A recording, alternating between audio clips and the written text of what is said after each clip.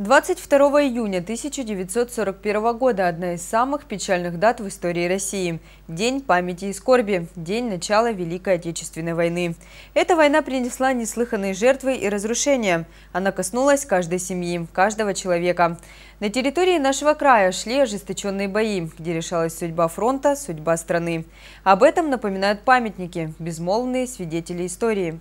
События Великой Отечественной войны уже стали для нас историей, но память о ней увековечена в мемориалах и монументах, обелисках и памятниках. В нашем городе немало памятных мест, которые хранят в себе историю времен Великой Отечественной войны. Именно поэтому гости из Ейска приехали в Славянск на Кубани на экскурсию, чтобы пройти по тем тропам, где гремела война.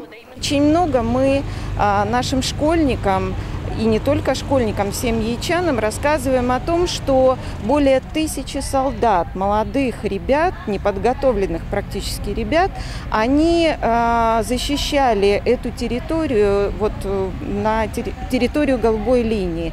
И, конечно же, больше тысячи ребят так и остались здесь лежать навечно не имея ни семей, ни продолжения своего рода.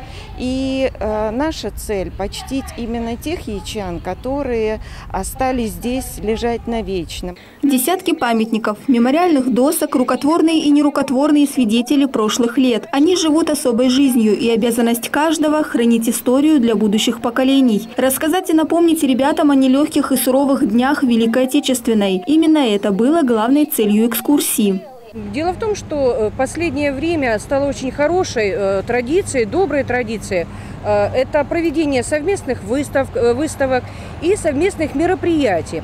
Вот сегодня, в преддверии 75-летия начала Великой Отечественной войны, 22 июня, мы проводим совместные мероприятия. Э, конечно, думаю, что это очень важно, очень необходимо. Почему? Потому что наше подрастающее поколение э, должны знать э, великие подвиги своих прадедов, должны знать свою историю. И музей совместно с историко-кровеческим музеем Ейска идем в этом направлении ходе экскурсии гости посетили парк 40-летия Победы, памятник труженикам тыла, памятные знаки землякам-героям. Посетили историко-краеведческий музей. Ребята ближе познакомились с событиями того времени, узнали о первых днях войны на территории района, оккупации, партизанском движении, увидели те места, которые напоминают о беспримерном мужестве советского солдата. Экскурсия произвела большое впечатление на гостей из Ейского района, ведь она позволила в очередной раз прикоснуться к трагическим страницам нашей истории. Надежда Неткачева, Игорь Ванчугов. Программа «События».